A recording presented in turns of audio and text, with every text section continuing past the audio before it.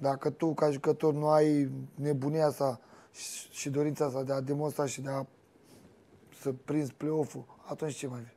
Deci în tu- Europa, oricum, Tu crezi că în primul rând e o problemă de jucători la FCSB? Da. În primul rând?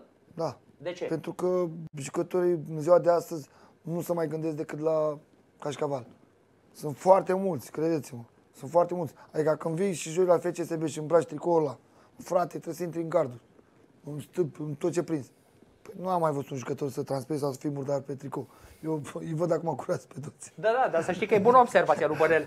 M-am, chiar mă uitam Uite, aseară... domnul Vochin mă știe și mă știe de mic. Poate să vă confirme lucrul. Păi eu eram tot varză făcut. Și tricou și tot, cu jampe rupți. Și așa mai departe. Adică nu am mai văzut jucătorul. Da, nu, a?